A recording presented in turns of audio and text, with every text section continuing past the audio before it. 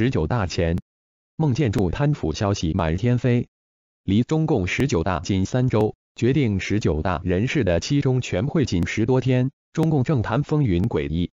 网上盛传中共政法委书记孟建柱的各种丑闻。大陆神秘富商郭文贵九月二十四日在披露了孟建柱等人及家属的贪腐材料，给百姓增添了许多茶余饭后开涮中共官员的谈资。中共十八大以来，习近平大力在党内和军中进行反腐，打破了刑不上大夫的中共潜规则，抓了一批大老虎，包括前政治局常委、政法委书记周永康、前军委副主席郭伯雄、徐才厚等。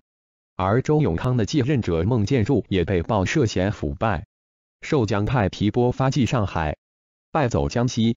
一九八九年民运南京学生领袖吴建民。近日也在网上曝光了孟建柱的发迹与江泽民、周永康有关。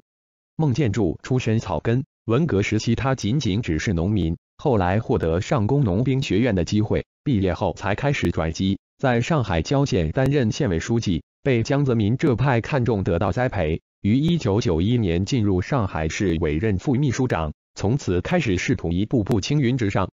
吴建民还披露。孟建柱任副市长过程中结识一个他以后在政坛上多年合作的搭档吴新雄，当时的江阴市委书记。孟建柱将上海很多合作项目放到江阴进行合作。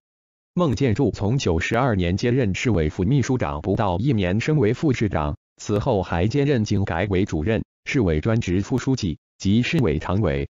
当时他跟陈良宇竞争上海市长失败，江泽民更看重陈良宇。二零零一年就把孟建柱派往江西任省委书记。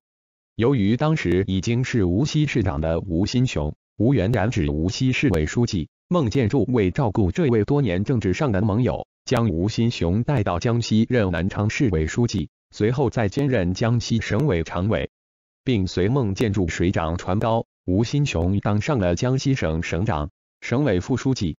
二零一一年六月，吴新雄调任北京的国家电监会当主席。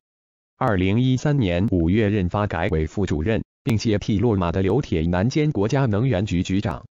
二零一五年一月九日，吴新雄从履职到卸任仅二十二个月，是发改委成立以来任职时间最短的。北青报报道时暗示或与腐败有关。他爆料中还说，孟建柱二零零七年从江西调任北京担任公安部部长，有周永康支持的因素。周永康跟孟建柱关系不错，一直拉着孟建柱。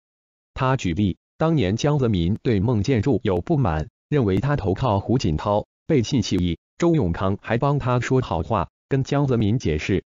但孟建柱跟周永康之间也有矛盾。吴建民说。周永康是被江泽民直接从四川省委书记调到北京担任公安部部长，然后再任政法委书记。周永康在这之前没有任何公安的经历。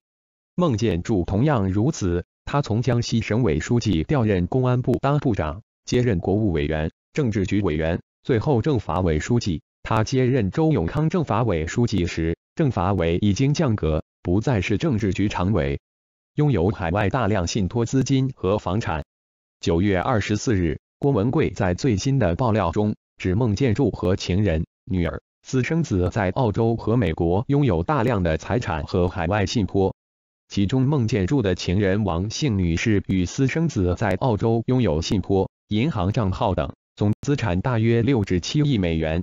他公布了王女士在澳洲的十五处房地产信息。并称这只是他拥有的其中的一部分。他特别说明，这十五套房产都是以信托方式所持有，对资产的一种经济规划。房产是在当地你成立信托来骗取政府，我是给将来孩子、家人购买的信托。背后持有巨额资金的这些股权最终的受益人有权利兑现信托。同时被曝光的还有孟建柱的女儿郭称，其拥有美国绿卡，现居住美国旧金山。他曾是江西铜业股份和江西稀有金属钨业控股集团的实际控制人，名下持有多个信托，账号现金约一百多亿美元。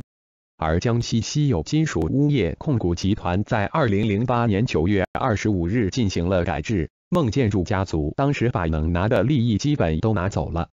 孟建柱的情人王女士在二零零九年开始移民定居澳大利亚。郭文贵指其在澳洲利用信托全面开始了洗钱、收钱的过程。